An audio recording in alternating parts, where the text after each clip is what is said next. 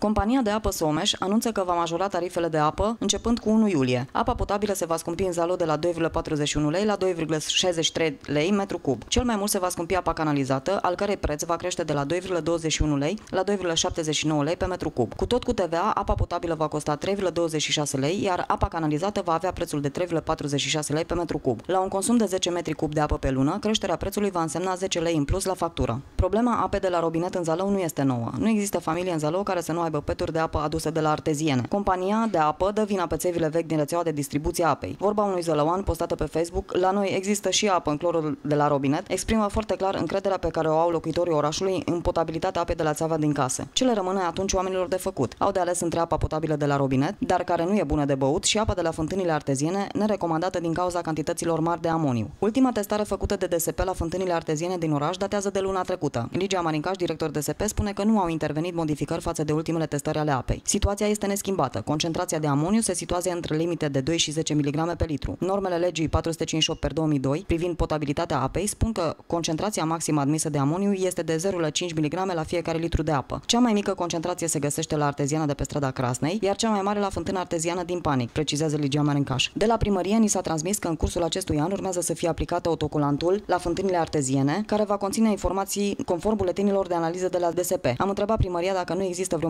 modalitate de a face plăcuțele în așa fel încât să nu se mai șteargă ușor informațiile de pe ele. Manuela Ghiuruțan, purtătoarea de cuvânt a primăriei, ne-a răspuns că, pentru înlocuire, după ce primim noile măsurători, vom solicita și o analiză a tehnologiilor de confecționare. În urmă cu 5 ani, autoritățile locale și județene aveau în vedere aducțiunea apei de la Gilău. Proiectul este cuprins în masterplanul pe 2014-2018 și prevede, pe lângă aducțiunea apei de la Gilău, extinderea rețelelor de apă și canalizare în localitățile unde nu există aceste utilități. Tiberiu Cioca, vicepreședinte al Consiliului Județean, spune că planul de aducțiune a apei de la Gilău nu este abandonat. Urmează să se facă finanțarea din banii alocați României de Fondul European pe anii 2014-2020, precizează Tiberiu Cioca. Gilăul are o apă foarte bună, iar sistemul actual, în cazul unei secete prelungite, nu ar face față. Există probleme cu sursele de apă în Cehu, Sărmășac și Mirșit, dar și în alte localități. Aducțiunea apei de la Gilău ar rezolva aceste probleme prin unirea magistralelor și semimagistralelor cu conducta care aduce apa de la Gilău și astfel ar fi rezolvată și problema apei în localitățile cu deficit de apă.